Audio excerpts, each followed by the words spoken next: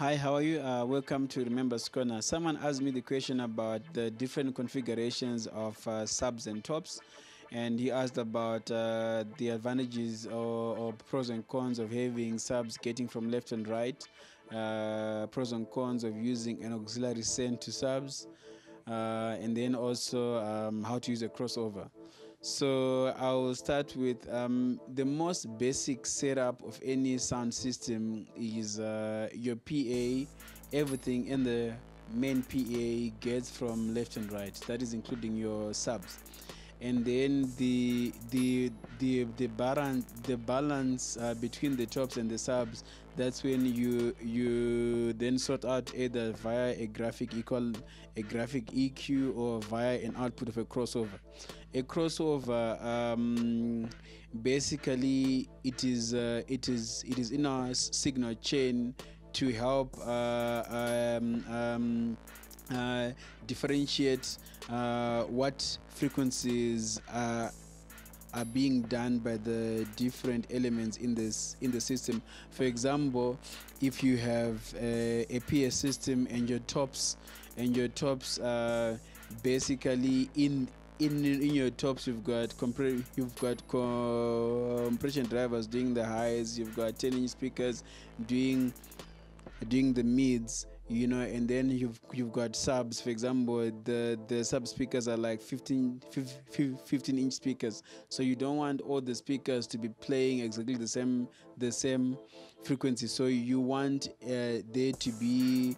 an allocation of um, frequencies. So for example so that the sub speakers only only get the sub frequencies for for them to play only that. You want the the mid frequencies to to to only get mid frequencies so that they can only produce that and you want the high frequencies to only get the high frequencies so that they they can be basically deal with those fre- fre- frequencies only. But our crossover gets the full range uh, uh, um, frequency from from from uh, the mixer.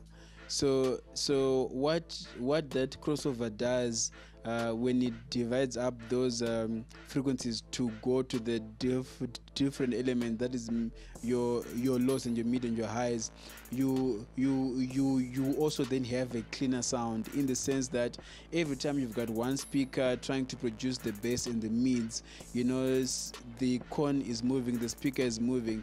And and when when the same speaker is trying to produce lows and is also trying to produce mids it is moving to to produce those frequencies. So somewhere in between when when it, when when it's trying to produce those two different frequencies what happens in between is uh, what what is called inter modulation distortion. So so so so so so basically it also it also to some extent affects the clarity of how of how a system sounds.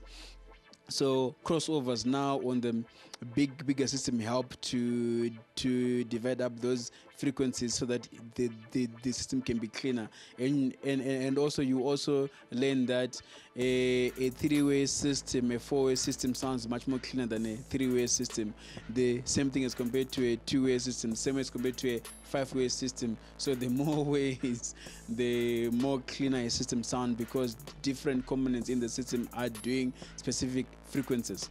So now when when I, when when I then go back again on uh, routing to to tops and subs you know um, one one of my mentors said um, the, the the moment you send an auxiliary send to a sub and you've got your PA on left and right it's like now you're driving a car with two gearboxes you know? So you have to be careful uh, how you you you basically balance the two the two there. So for me you know like to some extent i will look at i'll look at the scope of the event and i might actually have my subs get from left and right.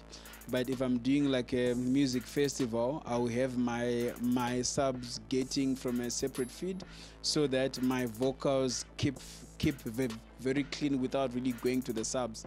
And uh, when when I'm routing to the subs, I'm I basically route anything that is low frequency content, which which is which which is which is a key driver to to to that element.